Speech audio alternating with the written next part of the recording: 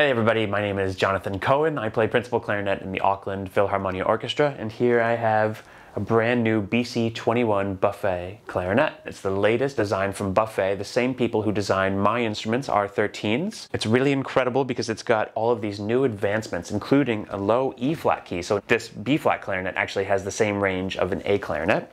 I think that if you don't have an A clarinet, this is a really good instrument to get because it has the entire range of an A clarinet without having to buy a completely separate instrument. So especially for young students who may not want to invest in both instruments right now and you could just buy the one, this is the instrument for you. So you don't have to just take my word for it. It was designed by some of the most famous and best clarinet players in the world, including Martin Frost, Nicolas Baldeyrou, Paul Meyer, and Michel Arrignon. So there's actually only two of these instruments in all of New Zealand.